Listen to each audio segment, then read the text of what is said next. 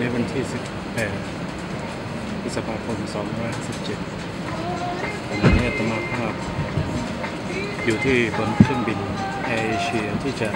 บินจากกรุงกัวลาลัมเปอร์ สู่ประเทศบรูไน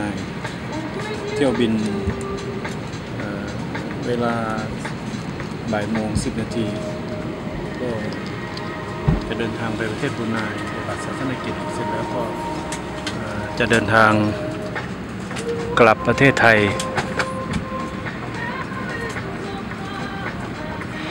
ประเทศบรูไนถือว่าเป็นประเทศสุดท้ายในกลุ่มประเทศอาเซียนที่อาตมาภาพได้เดินทาง